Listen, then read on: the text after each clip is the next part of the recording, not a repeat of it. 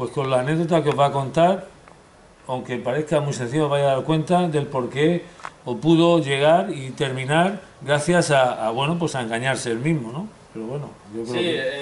Eh, Brasil fue muy dura porque porque yo tuve la presión de, bueno, pues con mi currículum de, ir delante. O sea, la organización ya el primer día me metió esa presión añadida.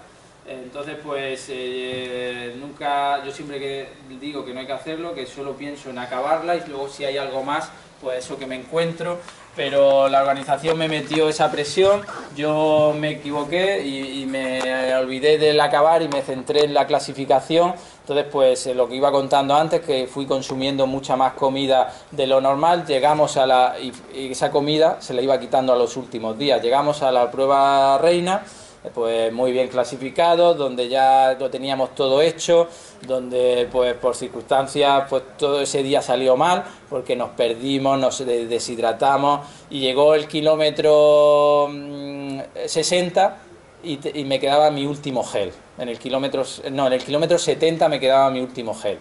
Pues nada, o sea, yo mm, eh, eh, íbamos los cuatro primeros juntos y yo dije, pues nada, que sea lo que Dios quiera, que me dure aquí pues, hasta que me dure. Entonces me comí mi último gel y en el 80, pues bueno, yo ya el cuerpo pues iba dando arcadas, iba pues sin fuerza ninguna, pero yo no podía mm, mostrar debilidad al tercero o al cuarto porque me iban a apretar.